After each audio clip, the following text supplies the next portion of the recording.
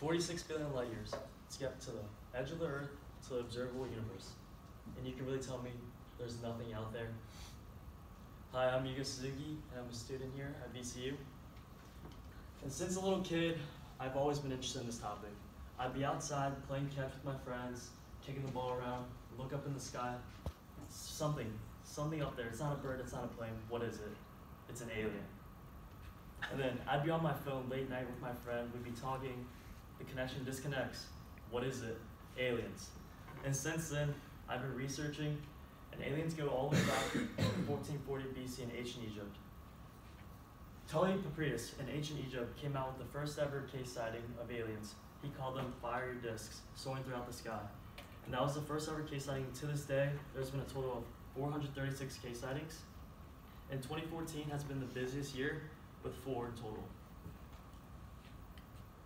This 2015 found in Sydney, Australia. As you can see in the zoomed in picture, what is that? It looks very odd, oddly shaped. It was unidentified, don't know what it is. Could be aliens.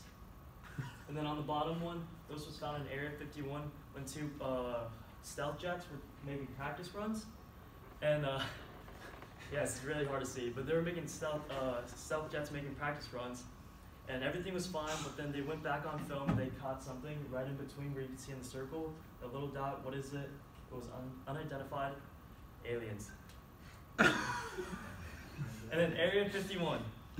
Area 51 is a classified military base for uh, practicing spy planes, stealth bombers, just practice, making uh, practice runs. But that changed quickly, as in 1947, William Brazel, a farmer, found uh, metallic silvery rods in his yard. And with this, he called the cops, didn't know what it was. But then the military showed up with big trucks. They put it in the back of the truck and they just said, we're taking it to Area 51. And since then, Area 51 has become a little, a little place where they keep alien life.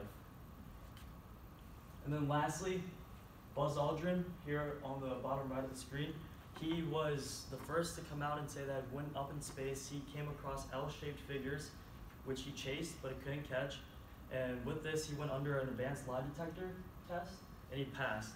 And ever since then, uh, astronauts from Apollo 14 and 15 also came out with claims saying that they have also came across uh, sightings of aliens. And with this, there's so much evidence that comes with aliens, and it's hard to it's hard to not say that there's nothing out there. And I want you guys to keep your mind open on crazy and new ideas. And no matter how crazy something may sound, putting a little bit of effort into researching it can help us find a whole new discovery that can change the world.